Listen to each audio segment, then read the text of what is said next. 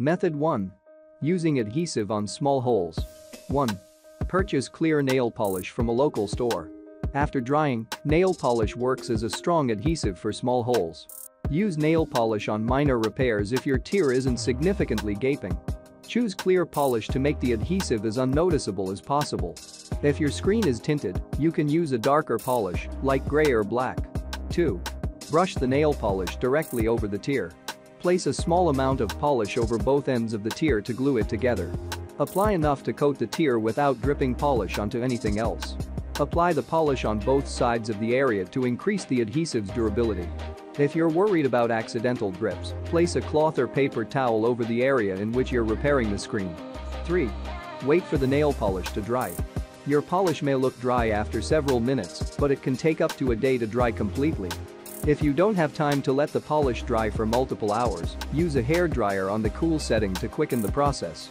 Place the blow dryer about 6 inches 15 centimeters away from the screen and blast it for about 1 minute. Clean your window screen with cold water to quicken the drying process. Do not clean your repaired window with hot water as it can loosen nail polish. Method 2. Darning your window screen. 1. Unravel a few strands from the window screen. Sewing the screen shut is an option if the hole is too large to use adhesive. In some cases, you will not be able to sew the screen together without stitching a piece of scrap screening over the damaged area. To prep the screen for darning, unravel a few strands from the perimeter of the screen to use as your thread. 2. Line up the window screen seams as neatly as possible. Match the two ends of the screen as evenly as you can. If you cannot line up the two ends without leaving a noticeable hole in the middle, you may need to sew a piece of scrap screening over the hole. If you have any old or broken window screens, cut out a rectangle that is approximately the size of the hole. Patch screen material can work if no scrap screening is available. 3. Weave the strands through the screen with a needle. Once the torn edges are lined up, use a needle to weave the thread through the screen strands. If you don't have strands of screen material available, use a strong, long-lasting thread, like heavy-duty or polyester thread. Make the stitches as small and identical as possible and continue sewing until the hole is closed. Sew the torn edges together first and then, if the hole is still noticeable, place the patch over top and sew around its perimeter. Method 3. Patching holes. 1. Tim the damaged area into a neat square or rectangle.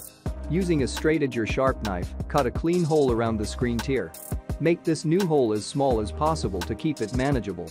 Leave at least 1d2 1 inch 1.32.5 centimeters of screen between the hole and the window frame. 2. Cut a piece of patch screen material for the damaged area. The new patch should be slightly larger than the rectangular hole. Measure the patch before you cut to make certain it is at least 1 inch 2.5 centimeters larger than the damaged area. 3. Loosen the perimeter weaving of the opening and the patch.